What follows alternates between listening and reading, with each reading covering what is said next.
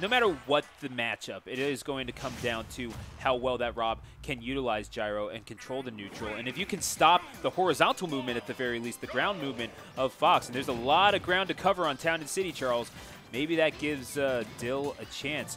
One billion dollars, not quite the amount that they're playing for, but a thousand dollars, not exactly anything to shake a stick at either. As we're going to uh, get that retro uh, Famicom skin on the Rob. I do like that.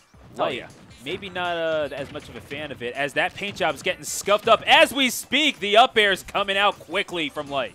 Yeah, some classic Rob stuff, and ooh, Light looking looking fancy with this top out here, doing the uh, the recatch as well, getting a lot of damage.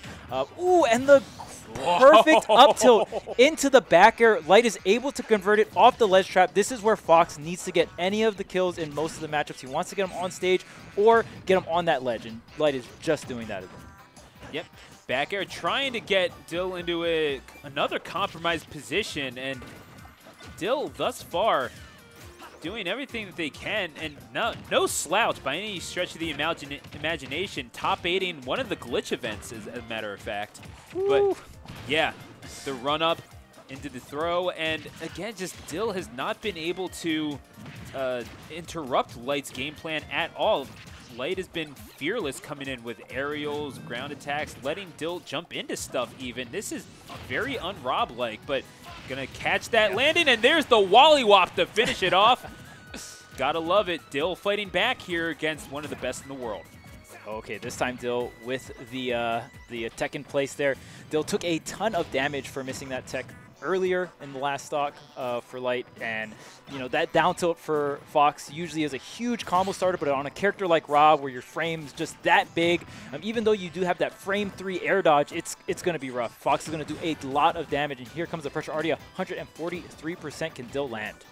Oh, they do, but it's tenuous. They do get the grab off. They got to get these early percentage combos, but Light, again, so good with their defensive movement, so good at cutting off combos by any means necessary. These aren't just panic options. They have studied these matchups. They played Rob once or twice in Yeah, their life, so absolutely.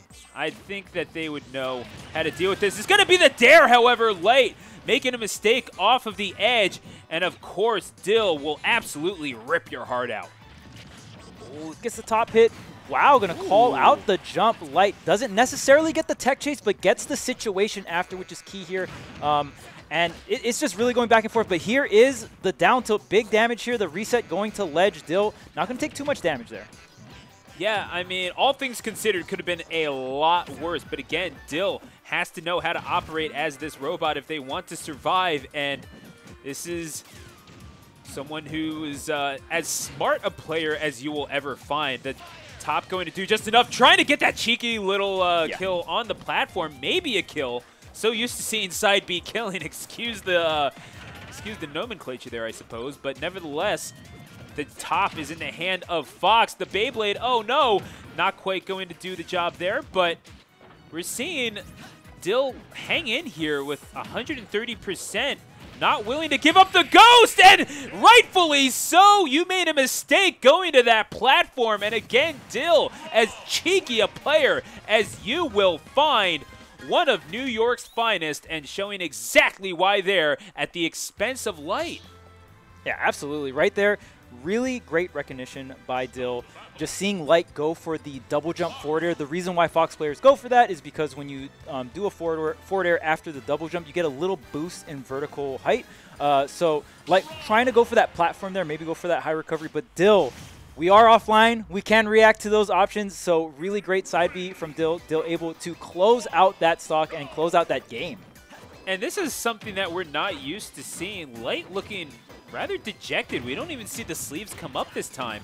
And it's, uh, I, I just don't really like the body language, if I'm being completely honest. Getting away from the game. It's such a weird thing to, like, have to get back into the swing of things competing.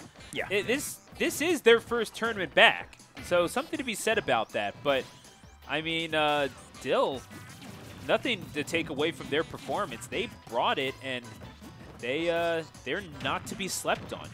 Yeah, absolutely. Just and even even that game was so back and forth. Um, really couldn't tell who was in the driver's seat. Uh, the advantage state is so volatile for both of these characters. So back into it. Town and City is going to be the counter pick. We're going to have a lot of stage to work with, the higher ceilings here, and but the uh, smaller side blast zones. So both these characters Fox can set up kills with the back air, the forward smash, and of course we've seen Rob kill many many times with that side B as well. Yeah, so my question is, I mean, the stage has to be helping Dill here, as Light is going to take an advantage. Uh, I don't know if you even call that a commentator's curse, to be honest with you, but nevertheless, um, the stage has to provide Rob with an inherent advantage, right? All that space to work with, Light has to close it down, makes it all the more reactable.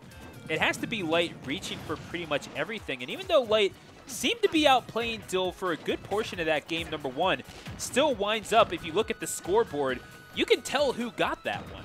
Oh, So oh, absolutely. I kind of wonder maybe was this uh, was this game lost before it was ever it ever could be won by Light. Yeah, very true. And Light has racked up so much damage here. The oh, there's the nair into the jab. Wow, wow. Okay, I, I was expecting an up smash, but uh, got a jab instead into the grab. The down smash will get the KO center stage, um, but nonetheless, 149% onto Dill.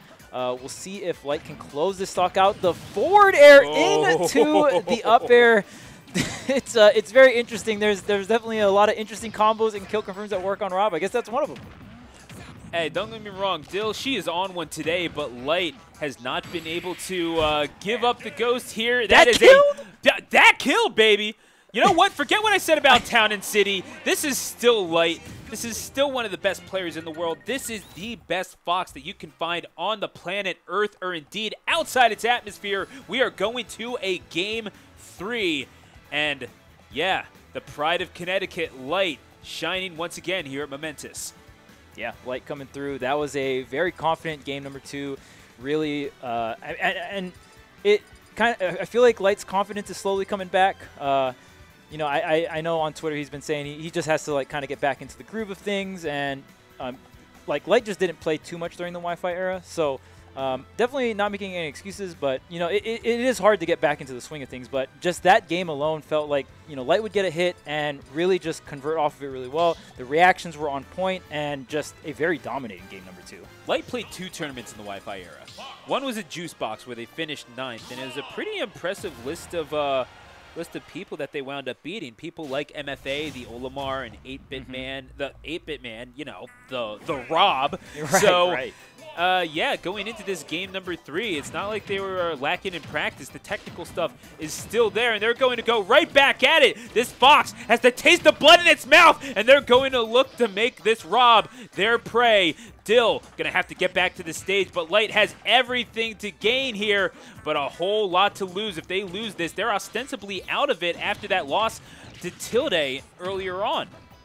Oh yeah, absolutely. And I mean, so far, wait, but Light has to get back on stage. Dill could take the stock real quick here. Up throw. Okay, setting up the top here. There it is again, the forward air into the up oh. air. I love There you go. I love Light's usage of forward air. It, I mean, in the at the very start of this game, we saw so much damage get racked up from forward air into the up air, and even now we're seeing Light land with forward air, which is definitely like I don't see too much Foxes going for that kind of stuff. Landing into forward air, right into the up air, getting the KO, and even using it for damage. This is so innovative. And looking for that up air again, just tacking on the damage, even though Town and City, one of the higher ceilings in competitive Smash Ultimate. Uh, how things change between games, huh? But Yeah. uh, yeah, gonna catch that, and Rob letting out a final cry. Uh, that can be, if you can even call it that, that's going to be Dill's final stock, and gonna just sweep him off of the stage. the Roomba. You know what?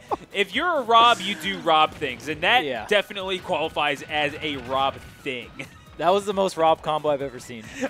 And it didn't even use side B. That's the best part. Great conversion from Dill. Uh, I did not miss the Roomba as much as I thought I did. I really didn't.